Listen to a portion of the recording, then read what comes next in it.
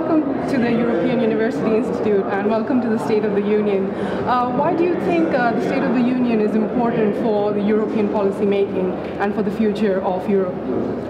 It gives a chance for people who have either already held very important positions in the EU or who are still in those positions to get together and explain to the public what they've been doing, what they got right, what they may have got give a chance to the audience to uh, weigh up what they've heard.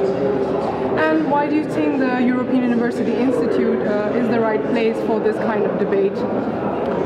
Well, it has the uh, ability to draw together big names and put them in one place uh, once a year, uh, which is something that not many uh, places around Europe can do. And uh, do you think that the media uh, can have a role in participating and bringing together academia and research and press and policymakers?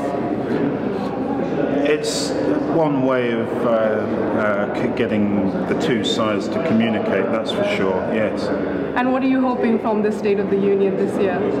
Well, I'm particularly looking forward to the uh, one hour that Professor Weiler and I are going to be talking with Jose Manuel Barroso, the outgoing European Commission President. Be interesting to see uh, how he looks back on his 10 years in office. And uh, there are some big names out there who are going to be talking about EU trade policy, foreign policy, how things are moving forward.